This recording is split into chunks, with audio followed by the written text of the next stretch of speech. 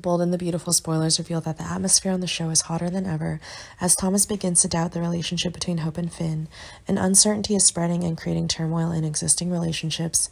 Steffy is known to have expressed concerns about the closeness between Finn and Hope, causing her to fear that she'll lose her husband in the future.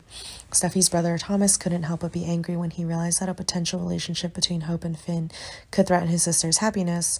Although he'd accepted the fact that he and Hope had broken up, he didn't want his relationship was bad for Steffy, His mood tense and determined to avert any potential difficulties, Thomas decided to return to town.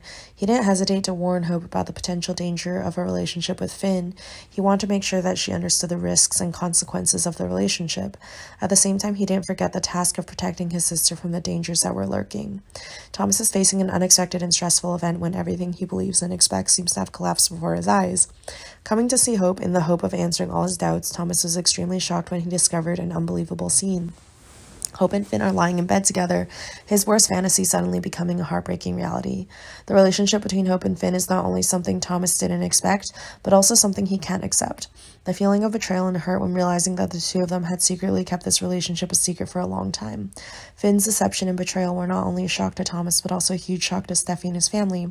Thomas couldn't control his anger as he entered the room and punched Finn in the face, his helplessness and pain welling up as he saw the relationship, shattering all the trust he had for them. He warns Finn to stay away from Hope, but not allowing him to hurt any more of his family.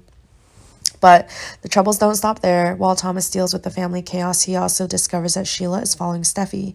Sheila's arrival brings with it a threat not only to Steffy but to the entire Forrester family. A new challenge emerges when Sheila reappears and plots revenge on Steffy, even though everyone is worried about Sheila's strength and cunning, but Thomas was not afraid. With his experience and ability to handle situations, he believes he can deal with any villain to protect his family from danger. Thomas is faced with a great challenge between protecting his sister from both of these dangers.